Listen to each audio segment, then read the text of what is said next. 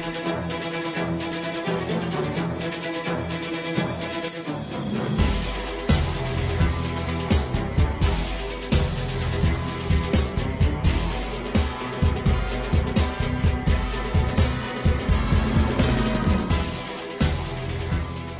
Welcome, everybody, to the NFL show on the Grueling Truth Sports Network. I'm your host for the NFL show, Mike Goodpaster. Right now, I'd like to welcome in my co-host. First up, from the FF Faceoff, Anthony Cervino. How you doing, Anthony?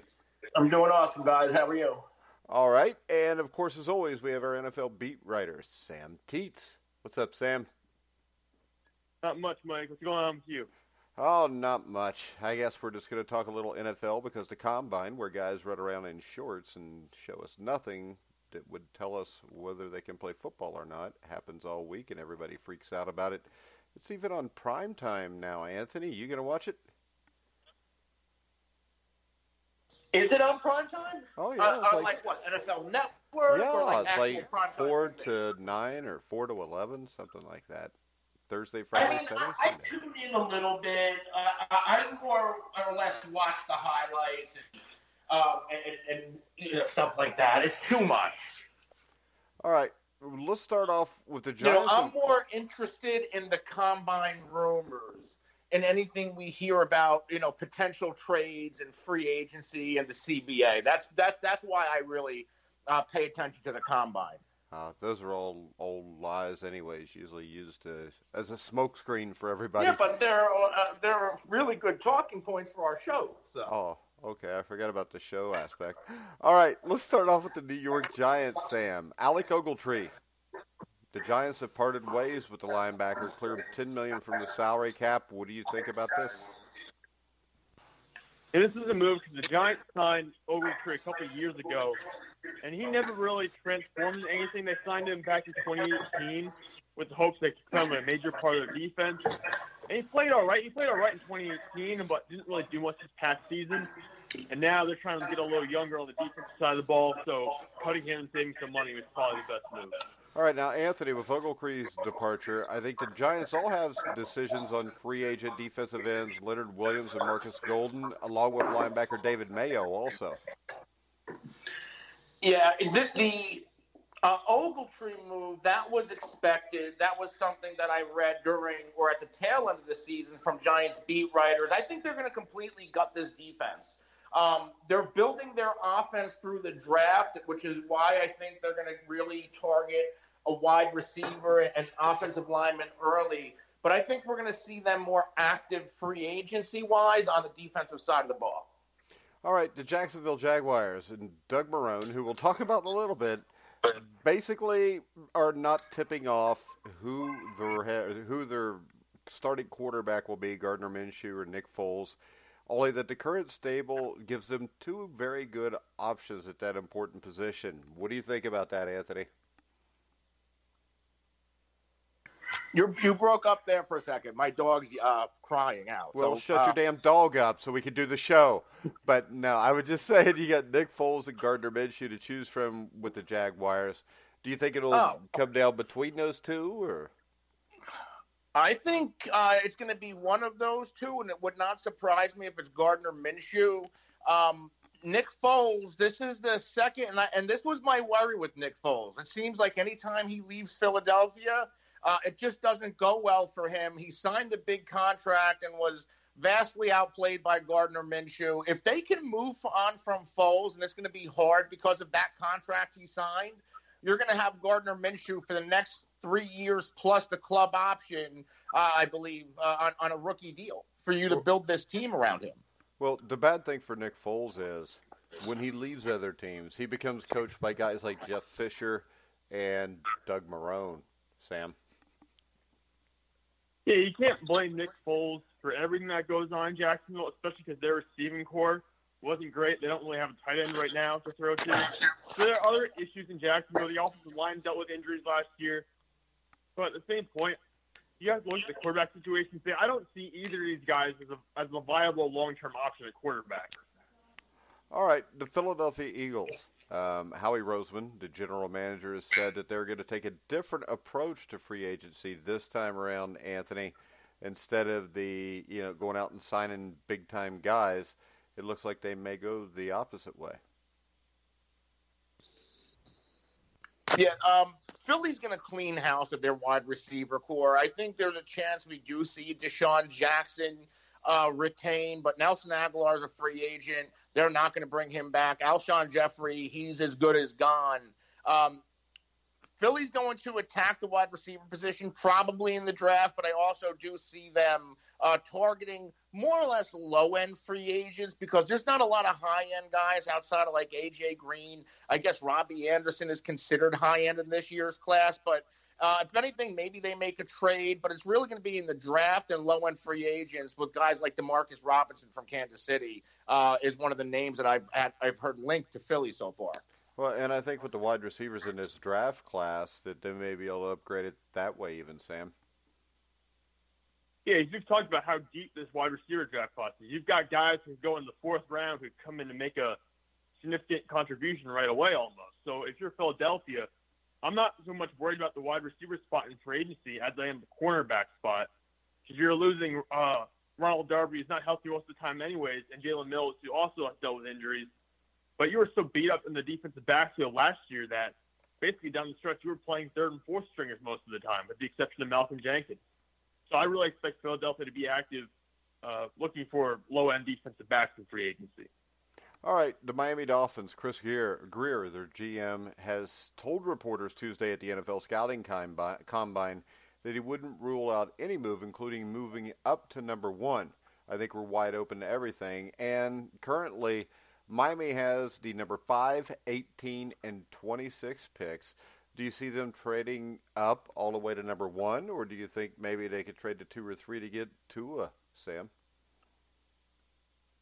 Yeah, the situation with trading up to number one only works if Cincinnati agrees to do it, and I think Cincinnati would be relatively foolish if they let Joe Burrow go. I know you said you believe in both Joe Burrow and Tua, but at the same point, I feel like Joe Burrow, if you're Cincinnati, you've kind of locked in on him. And if you view that there's any difference between Joe Burrow and Tua Tagovailoa, and you're in favor of Joe Burrow, you have to keep that number one spot. At the same time, I could see uh, Miami moving up to two to jump Detroit if they feel like Detroit might take Tua. Yeah, and I would think the problem with trading up to number one, I, I think it's hard to turn down 5, 18, and 26 in the draft, Anthony, and you may even be able to get a number two with that. But my concern is if I'm the Bengals and it's five, Tua may be gone too then, and then you're kind of stuck. Um, so you're saying in the scenario where Cincinnati trades back out of that one spot?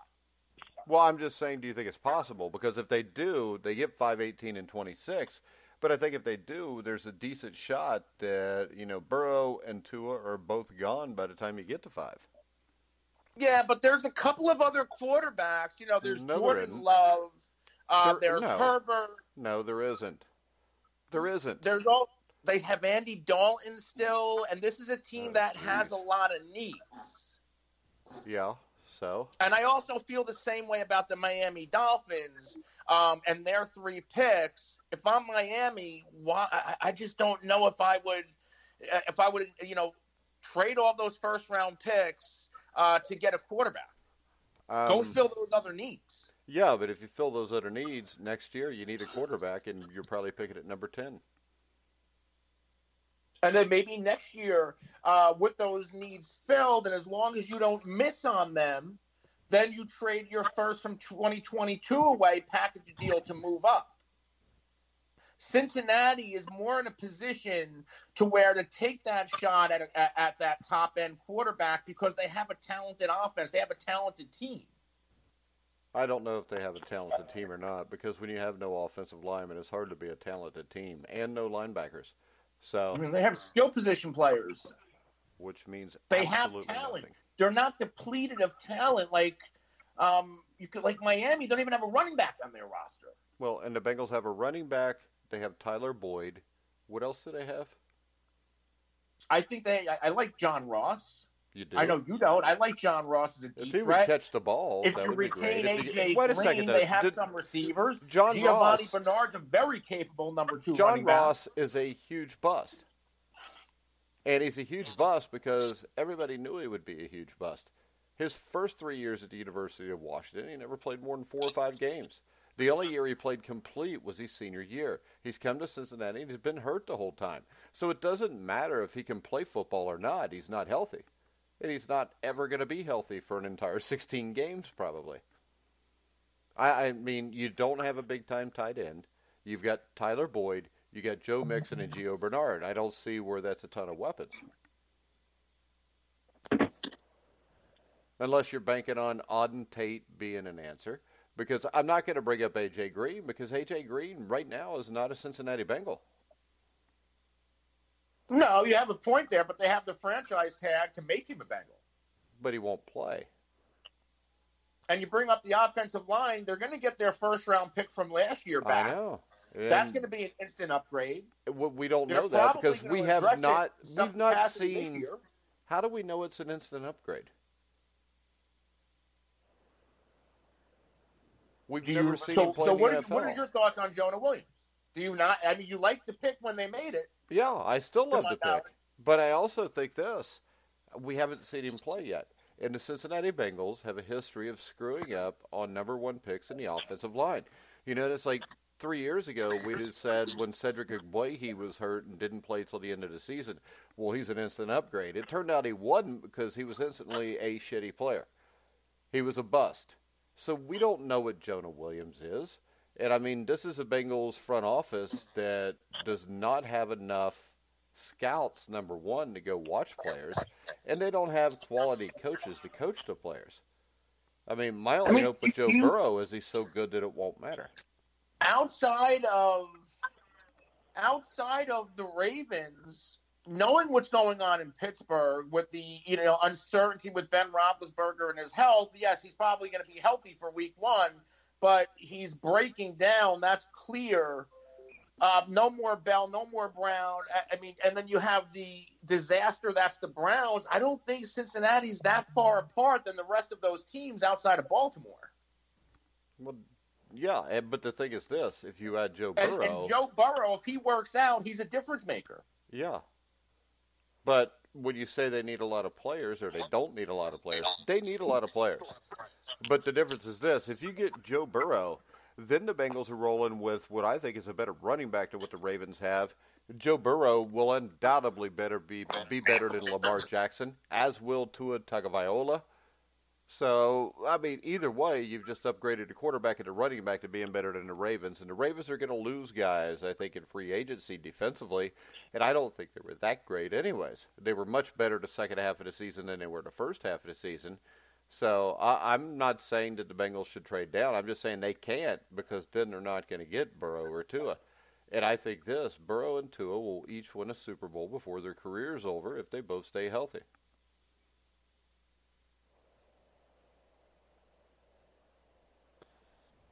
You know, I, I don't see why everybody's so against Tua.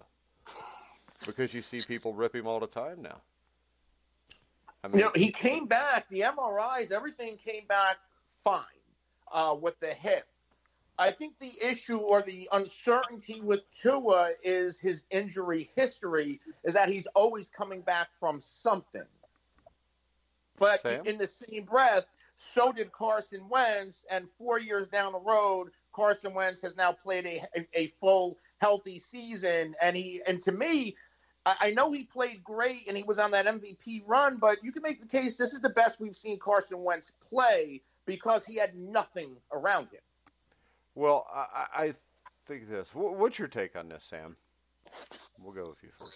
I, I I don't understand why Tua suddenly turned into like almost the villain of the NFL draft or something like that. Because it was that time where we were considering him to be the consensus number one overall pick, and then Joe Burrow showed up, and it's kind of like as Joe Burrow showed up, now everyone doesn't like Tua anymore. I don't understand why we can't just. enjoy I don't understand the injury concerns. He hurt his hip. Yeah, we're concerned about that. But there's not a history of injuries here, Anthony. There's just, I mean, he gets nicked up here and here. Everybody does. But he played a complete 2018 season.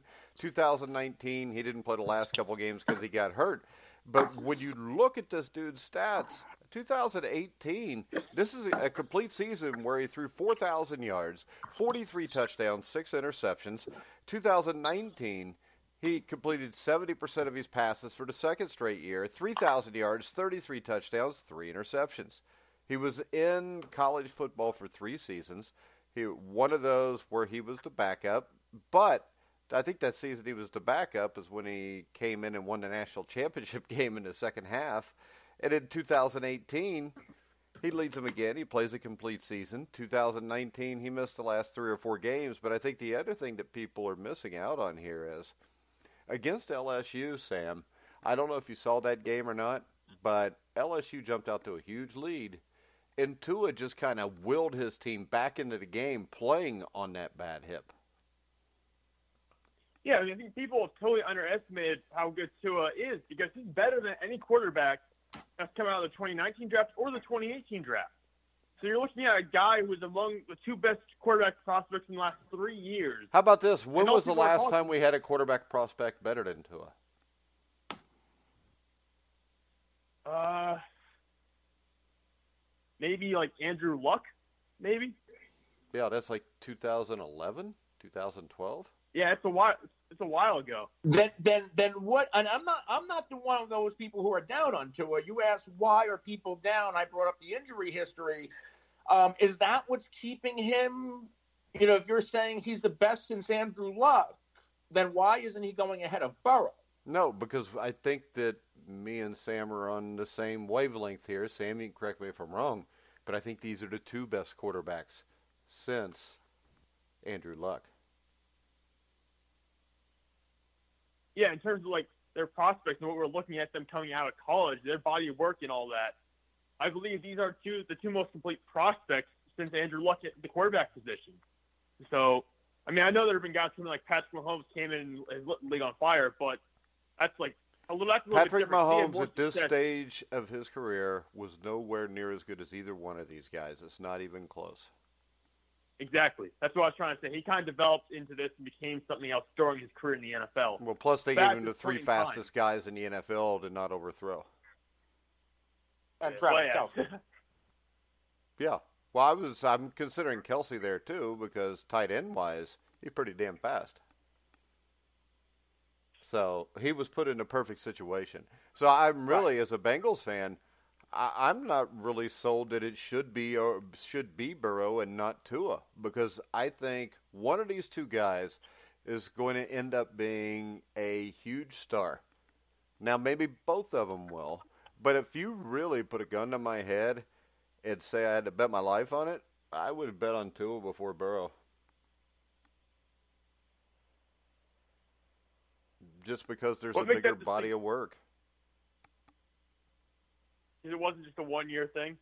Yeah, I mean, Burrow had one great year. I mean, Tua had two great years, and the other year where he played sparingly, he came in the second half, I think it was, wasn't it? Won the national championship. Yeah, let a comeback win when they benched Jalen Hurts. Yeah. He filled in for Hurts. when or they benched Hurts, brought him in, won it all. And I mean, he took the starting job from Jalen Hurts, who college quarterback wise is a great college quarterback. So I, I think there's a lot of question here on which one is better. I think the thing that puts Burrow over the top, and the reason I would be more comfortable with Burrow right now, is just the fact that Tua does have that hip injury that you have to worry about. But if he had a good hip and played all year, I don't know. That's a close call. I feel like people need to be reminded about how strong the Tua hype train was before the injury. Because before this happened, everyone was, was putting him up there in the same in the same sentence as Joe Burrow. It was the same discussion. Now it feels like that's changed for some reason. I don't believe that should be the case.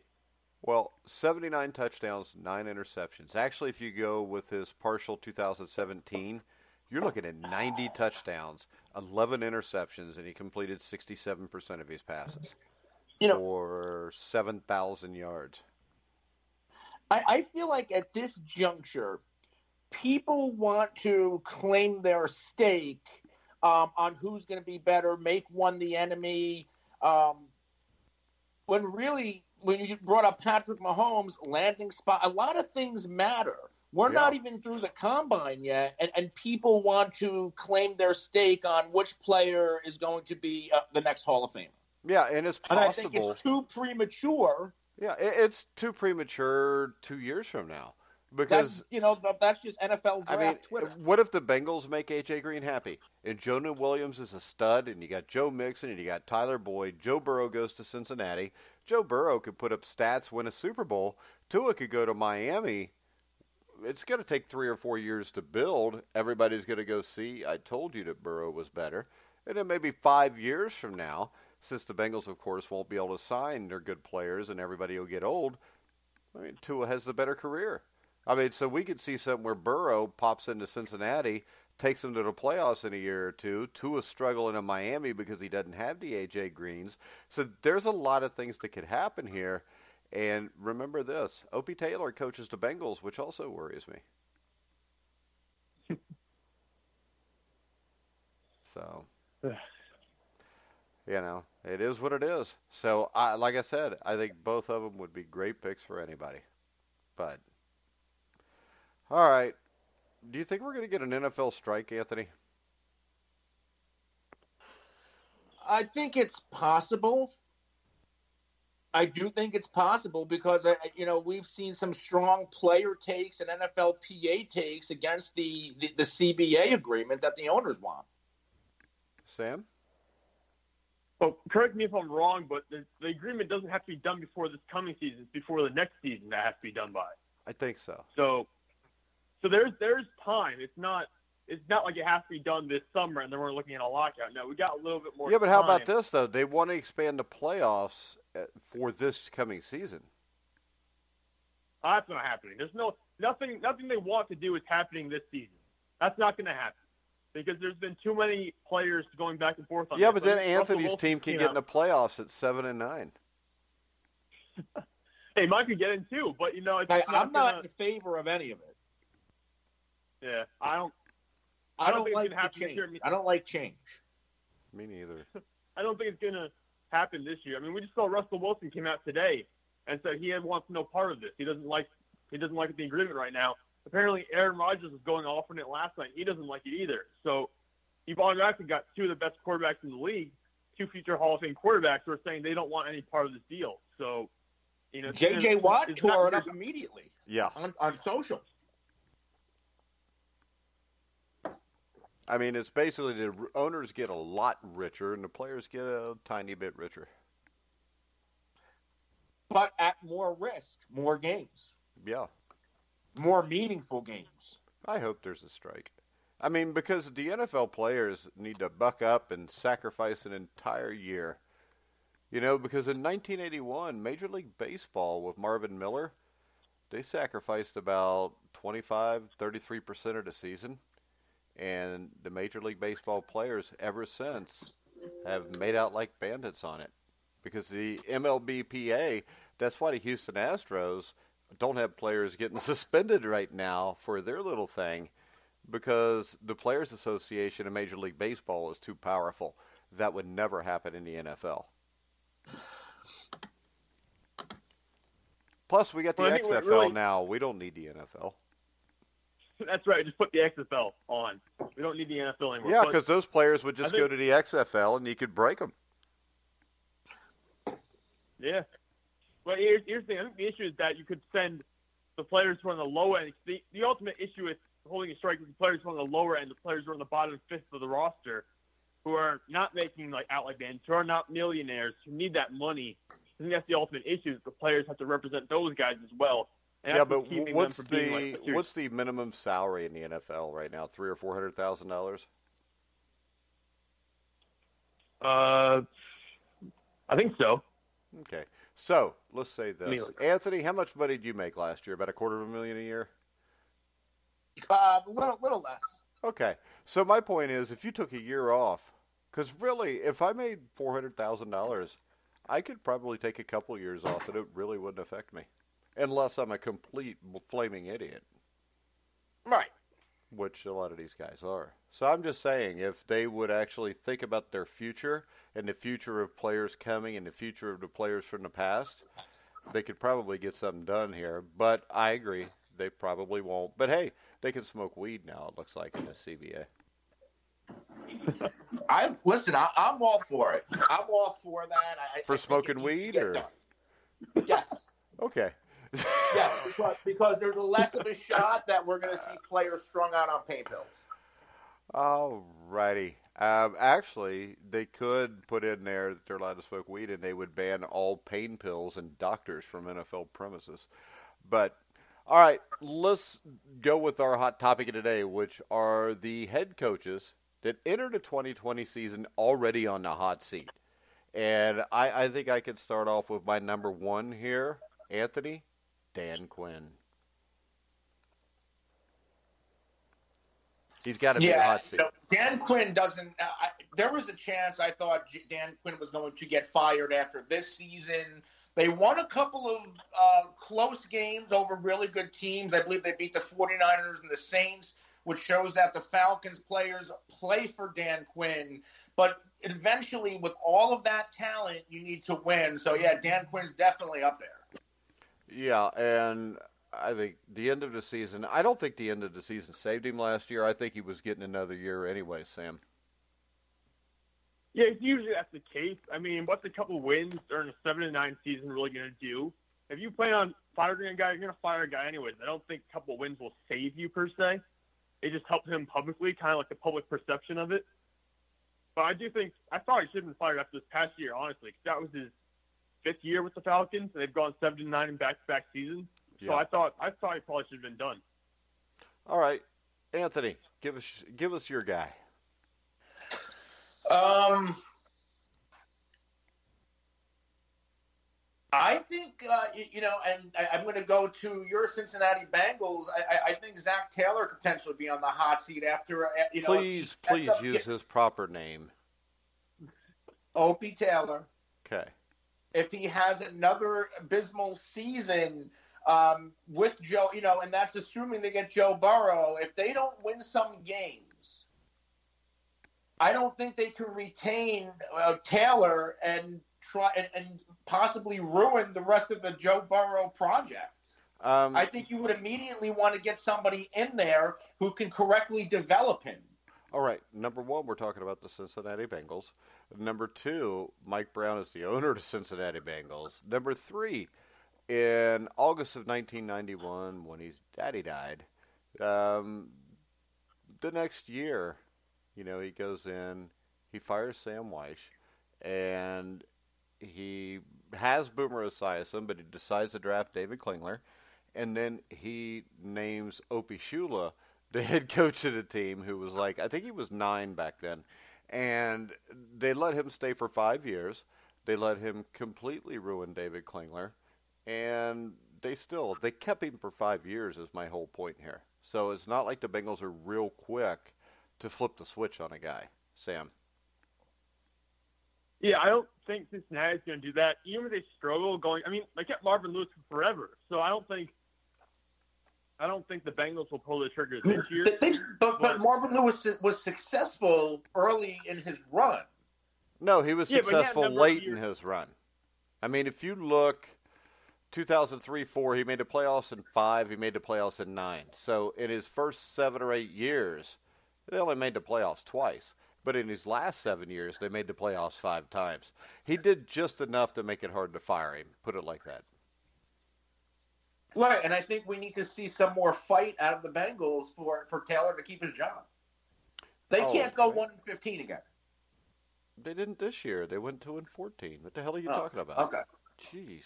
We beat wow. Cleveland and Miami. We dominated Cleveland. Well, we didn't beat Miami. We beat the Jets. You know who didn't beat the Jets? Sam, tell Anthony who didn't beat the Jets.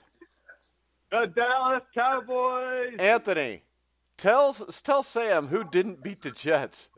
Pittsburgh Steelers. There you go. So now we've turned it in. I get to hit both of you on that all the time. All right, Sam, who do you got is on the basically standing in line waiting to get shot if he doesn't win some games at the start of the season. Listen, I'm going to go to a guy who actually had a 10 win season last year. I'm taking Bill O'Brien because I'm getting really sick and tired of Bill O'Brien Houston. Like, honestly, this is at a point where you've got DeAndre Hopkins, who's one of the best receivers in football. You have Deshaun Watson, who's a really good quarterback. And you at times have a very good defense, depending on if you're healthy or not. I just don't trust Bill O'Brien at this point because even though they went 10 6 this past year and won a game in the playoffs, I think Bill O'Brien, he turned over play calling, by the way, because he couldn't call plays. He had poor game management, poor time management. He's the general manager for some reason now. And I just don't think he's going to win. He's not going to get the team to the Super Bowl. I don't think he can get them over the hump at all. Anthony, what do you think about Bill O'Brien? Um, I agree with all of those points, but because they are using him as a general manager, I have a feeling he's going to be there for a while. And I don't think, and, and that's one of those right or wrong situations. I don't think he should be. Yeah, but I think also this, he's the guy in charge of upgrading that player personnel.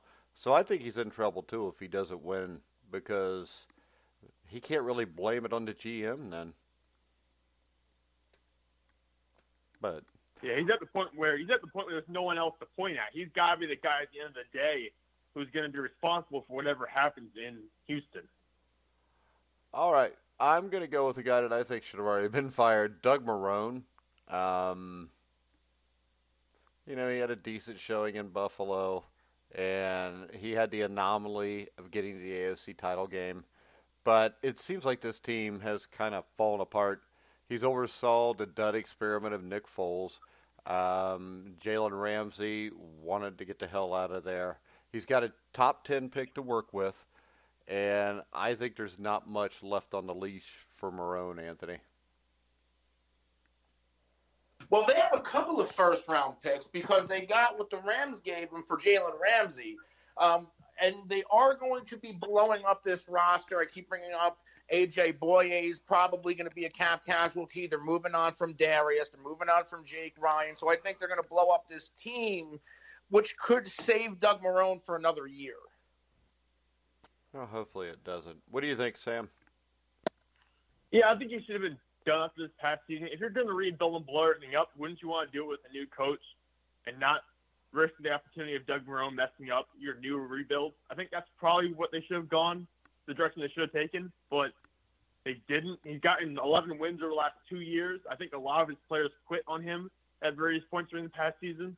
So I don't see him as a guy who can lead Jacksonville in the future. All right, um, Anthony, you got anybody else you want to mention? Um, what about Adam Gase? Well, if you think he should be on the hot seat, put him there and give us why. Um, I'm kind of anxious to see what Adam Gase can do this season. They did win what around seven, six, seven games last year with the, with a depleted seven. roster. Yeah. Um, if they can stay healthy and get you know C.J. Mosley on the field, get some receivers in there, then I want to see what Gase can do. But if they're if they're a disaster, uh, I think he's going to be done because Adam Gase in his career, sure he has a winning record with his starting quarterbacks combined with Tannehill and, and Darnold, but he eventually needs to get over the hump. He needs to get into the playoffs and win a game. Yeah, this is a team last year that went seven and nine and got blown out by the Bengals and the Redskins. So you just switch those two games, maybe you end up in the playoffs. But I mean, I'd like to see Gase stay around and maybe he gets an extra year just because he beat the Dallas Cowboys and the Pittsburgh Steelers. Sam, what do you think about Adam Gase? Uh, you know, you got to bring that up, but uh, I just think that with Adam Gase, he's a guy where he doesn't establish the team yet. You said they lost two teams to two teams they should have never lost to, and that's the issue. That's the issue with that team. I think there will be no consistency for the New York Jets as long as Adam Gase is in control. I think they'll lose games they shouldn't. They'll maybe be competitive in games they shouldn't be competitive. And then, but I don't think how, I don't see how that works out to a long-term formula for winning and making the playoffs. I'll give you this. I think he's on the hot seat but I think if they make the right free agent signings and have a decent draft, I think they win this division next year. I think this division is pretty wide open with New England losing so much uh, in yeah. free agency. I think really the Jets or the Bills can both rise up here and take that spot. And I think Sam Darnold is better than you know Jason Allen or whatever the hell his name is. What is his name? Josh Allen. Josh Allen. There you go. um, how about this one for me, Matt Nagy? Am I crazy? No, that's here? a good. That's because I, I think there are huge expectations. He's got a number one drafted quarterback in Matt Trubisky, which they traded up from three to two to get, which was dumb as hell. They've got an All-Pro linebacker in Khalil Mack. They made the playoffs two years ago. I think Brad, or Bears fans are getting tired of this, and I think Nagy needs to win, Sam, and he needs to win this year. Wait, this is a team that people thought in 2019, at least some people thought in 2019, could compete for a Super Bowl win, and they came out and they were flat. They went eight and eight with some wins down the stretch. That kind of boosted their record, but they didn't look like an eight and eight team. They looked much worse. They looked like a six or five win team. And I think you have to admit, and they're not going to admit this, but they should admit that Mitchell Trubisky was a bad pick, was a bad decision. They're not going to move on from him, which is only going to further drag this team down and eventually costing Matt Nagy, Matt Nagy and Ryan Pace their jobs. All right, um, Anthony. Um, I, I, think what Chicago is going to do, I think they're going to use the uh, the Tennessee route, what they did this year with Mariota and Tannehill, and bring in a capable veteran quarterback just in case Mitchell Trubisky gets off to another slow start.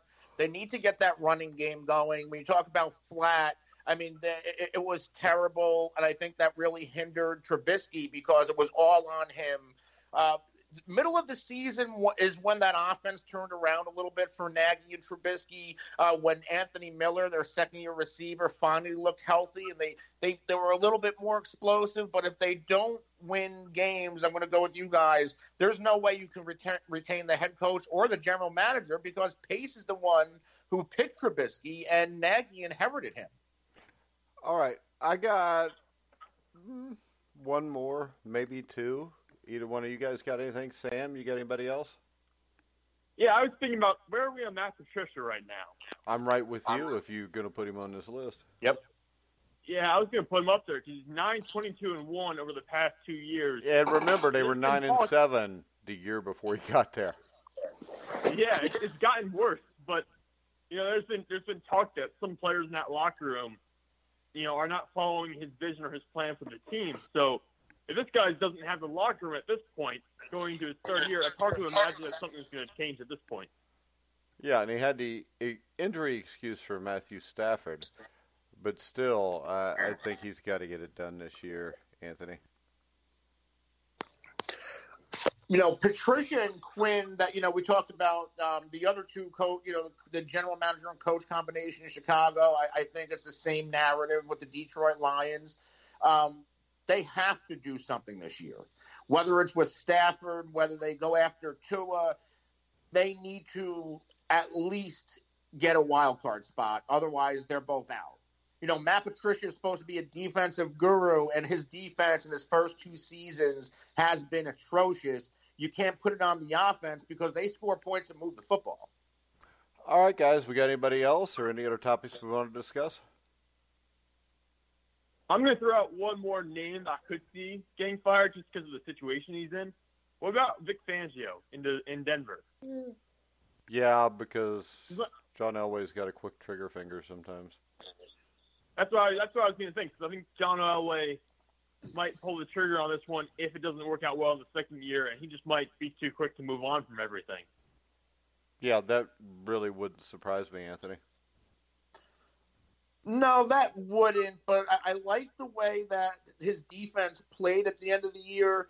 Um, they got their quarterback, I think, in Drew Lock. So I wouldn't exactly say Fangio is going to be on the hot seat. I think Denver is going to be a competitive team.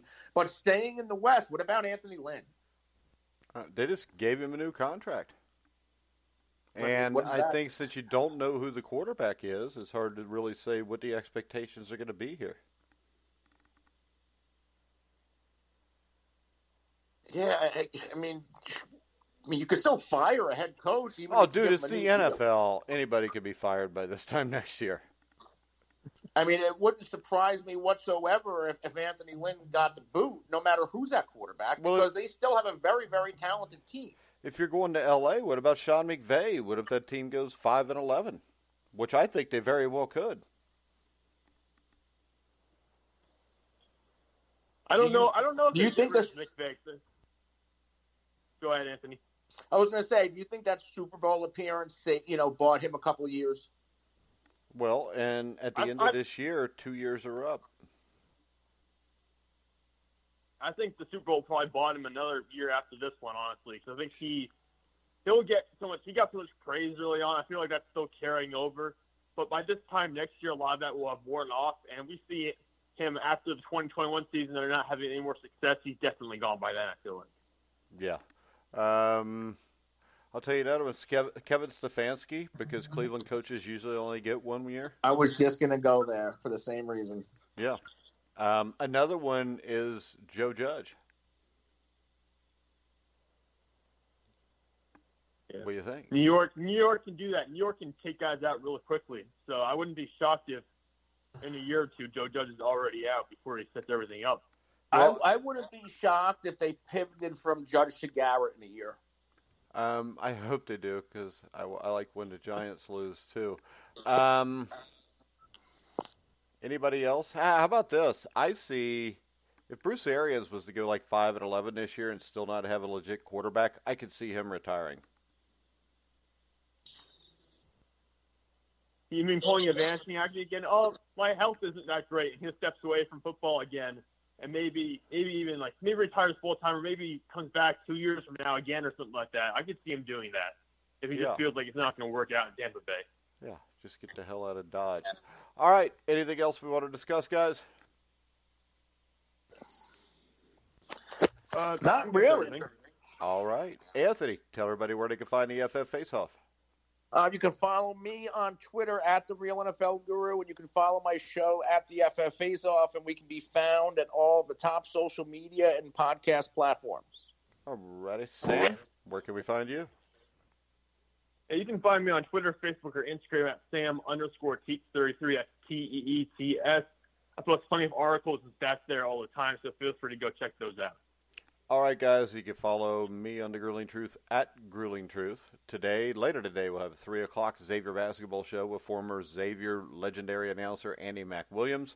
And then tonight at 9, we will have the XFL Weekly Show with Brian Schmidt and also tonight at 11 o'clock live, we'll have Inside Boxing Daily with Jeremiah Pricer. So make sure you check all those shows out. You can hear us on iHeartRadio, Spreaker, Stitcher, Spotify, YouTube, wherever you find podcasts, you'll find The Grueling Truth. So for now, who, who's on this show again? I'm just kidding. Sam, for Sam Teets, for Anthony Cervino, I'm Mike Goodpaster. You've been listening to The Grueling Truth, where the legends speak.